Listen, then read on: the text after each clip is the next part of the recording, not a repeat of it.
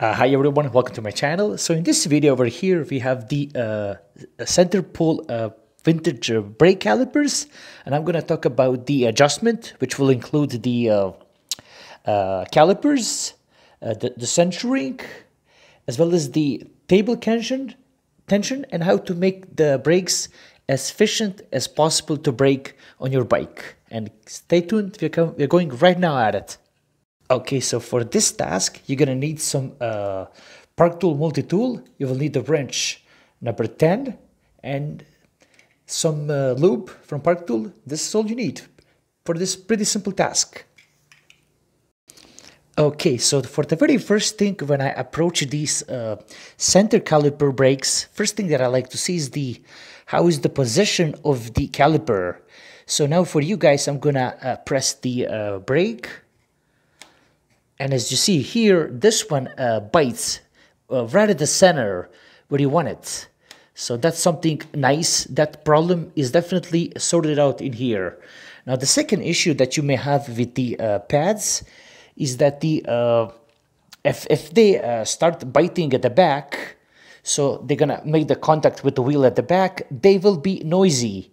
What you wanna do, you wanna make sure that they bite equally or they bite first with the front side so if you look over here, if I'm in, they do bite slightly from the front. So when the wheel goes this way, they're not going to make that uh, counter contact, which will produce that uh, brake noise. Uh, I would say the brake pad noise. The same can be said for the one on the other side as well. So this pad and the other pad, you want the wheel, you want the uh, pads to bite to the wheel from the front, not from the back.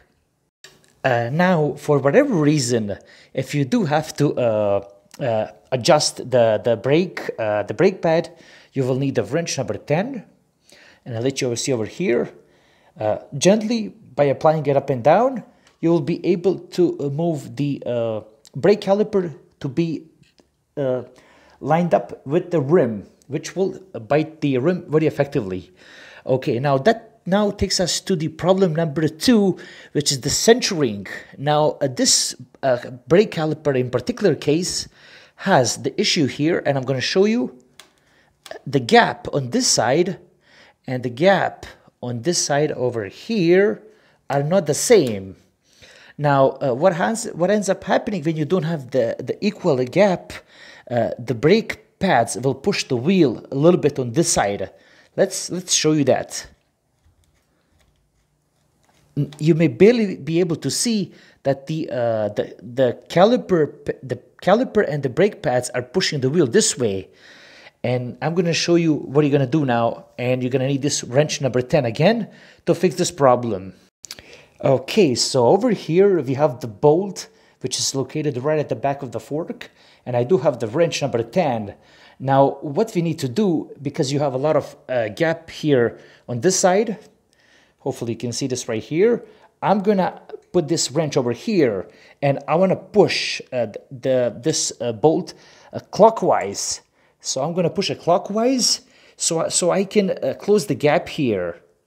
Okay, see? See now? Okay, now the gap that I have here and the gap that I have on the other side should be very, very similar. Now let's look again here.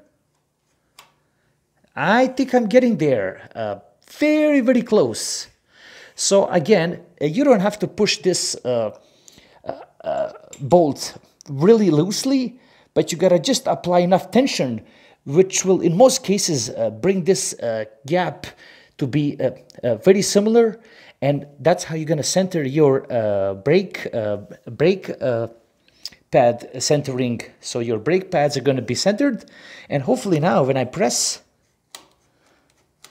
it's not pushing the wheel on this side because we have an even gap on both sides. I'm going to move the tire. You can see that again. I don't see the tire being moved, or actually the rim right or left. So you see what I'm talking about. This is how you center it with that single wrench and the single bolt at the back here. Okay, now let's move to the uh, centering. Uh, let's move to the cable tension.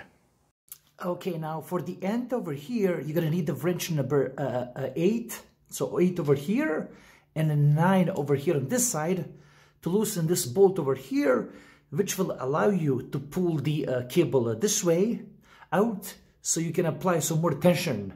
Now, what I like to do if, uh, in this particular case, uh, the, the tension is just uh, fine, it is perfect, but there's another option of doing this a little bit easier, which will be to mess with the ferrule right here, you see? And uh, so if you, if you, if you mess with this bolt, it will uh, tighten and loosen this uh, cable tension much easier. And since this bolt like to seize and get a little stubborn, I like to apply some Park Tool Lube. So just some Park Tool Lube over here.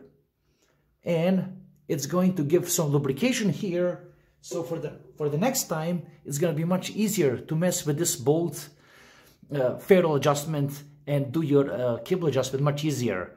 Hopefully you found this useful. Like, subscribe, and take care.